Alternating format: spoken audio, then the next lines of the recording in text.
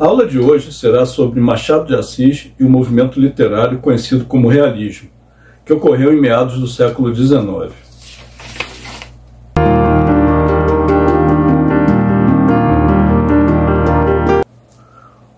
Olá, tudo bem? Meu nome é professor Sérgio.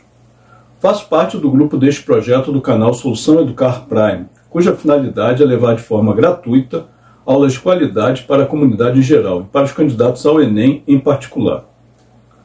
Nosso trabalho é suportado pela audiência de pessoas como você. Se gostar da aula e desejar, adicione seu nome ao canal e deixe um like. Obrigado e boa aula!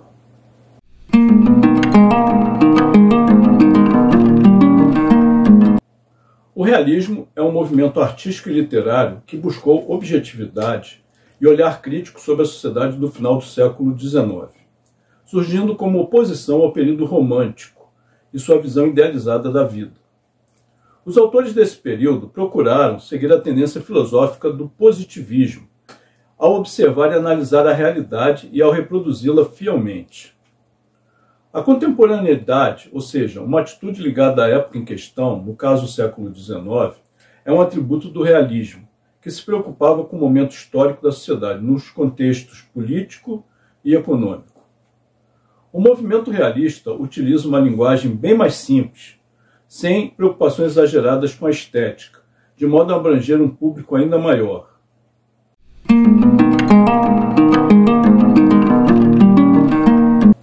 Ao longo do século XIX, as teorias científicas do evolucionismo, comunismo, determinismo e positivismo estavam se desenvolvendo na Europa.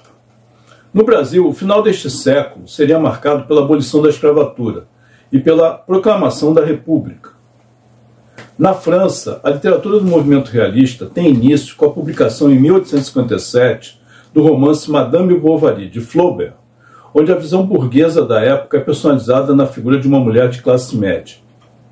No Brasil, o realismo é iniciado em 1881, com Machado de Assis, na sua obra Memórias Póstumas de Brás Cubas, o qual se ambienta na forma de um romance psicológico, cujo personagem principal é Brás Cubas, um defunto autor que, que expõe ao leitor suas experiências pessoais.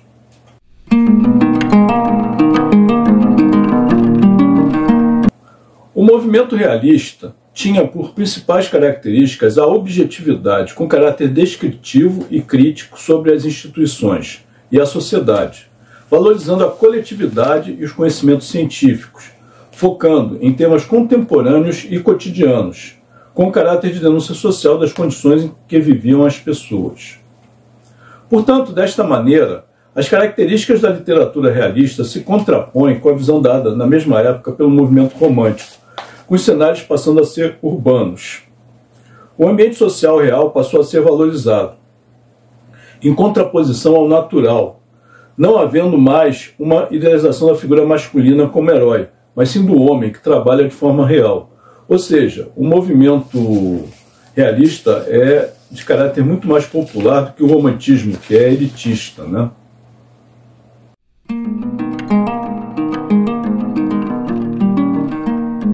Os livros de Machado de Assis, na segunda fase do trabalho do mesmo, são reconhecidos como as principais obras do movimento realista brasileiro.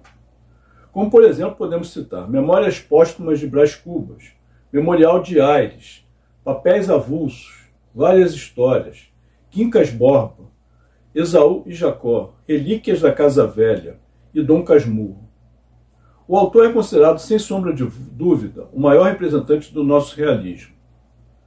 Com o modo irônico com que descreveu Memórias Póstumas de Brás Cubas, a obra considerada fundadora do movimento, Machado de Assis conseguiu marcar definitivamente este estilo literário no Brasil.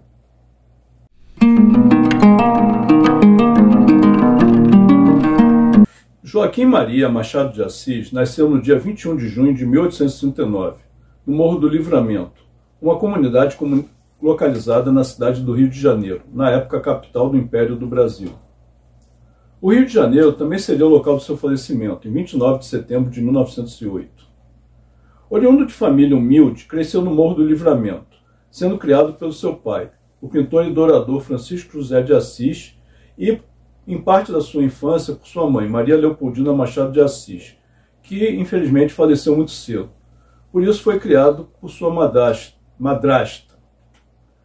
Sem ter meios para estudar em cursos regulares, estudou como pôde e já em 1854, com 15 anos incompletos, conseguiu publicar o seu primeiro soneto.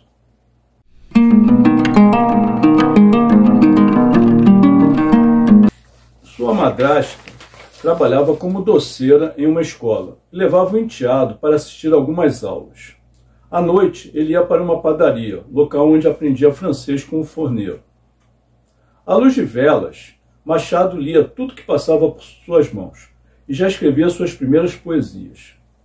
Em busca de um emprego na adolescência, acabou conhecendo Francisco de Paula Brito, dono da livraria, do jornal e da tipografia da cidade, conseguindo entrar para a imprensa oficial como aprendiz de tipógrafo.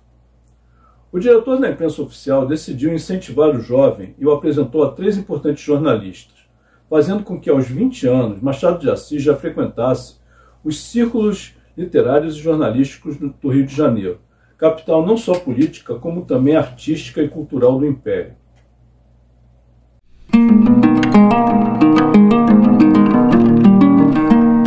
Foi jornalista, escritor, cronista, romancista, poeta e teatrólogo.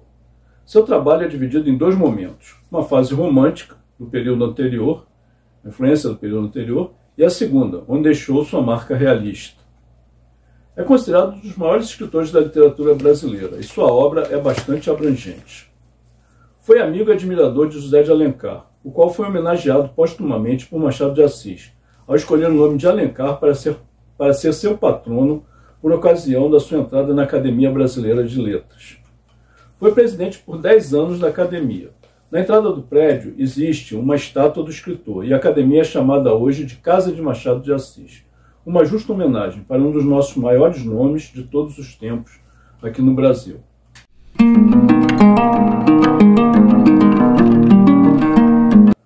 Os autores naturalistas contemporâneos de Machado de Assis também podem ser considerados realistas. No entanto, Machado de Assis não pode ser considerado um autor naturalista, porque no naturalismo o comportamento humano é explicado cientificamente, enquanto no realismo, que era o modo de Machado de Assis de descrever a realidade, não se recorre às imprecisas teorias científicas desta época, como, por exemplo, para decidir o final de seus personagens.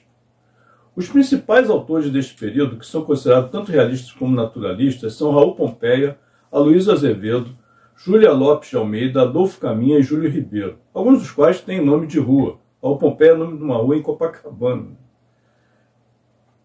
Nomes importantes, mas sem o mesmo peso de Machado de Assis na nossa literatura, esses que eu acabei de citar. Né?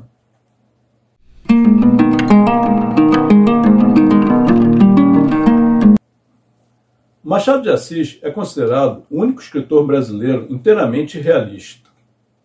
Isso se dá ao fato de que no final do século XIX havia uma preferência pela maioria dos escritores brasileiros se vincular mais ao naturalismo ao invés do realismo, já que ambos os estilos tinham semelhanças entre si. No âmbito das críticas sociopolíticas em contraposição ao romantismo, ambas as correntes literárias, tanto a naturalista como a realista, privilegiavam a razão. Podemos concluir que o movimento realista se contrapôs em particular à fase literária anterior, o romantismo, não expressando linguagem subjetiva e procurando adotar uma visão realista dos acontecimentos da sociedade da época, algo bem presente nos textos do Senhor Machado de Assis. Esperamos que vocês tenham gostado da videoaula e aguardamos vocês nas próximas aulas do nosso canal. Eu sou o professor Sérgio e este é o canal Solução Educar Prime. Até a próxima aula.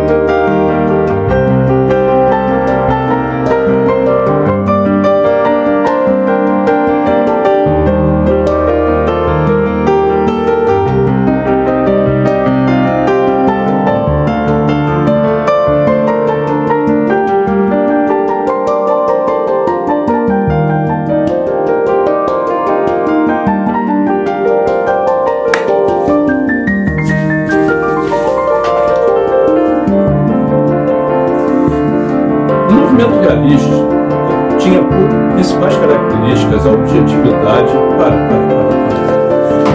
Ah, não, não, não, para, para.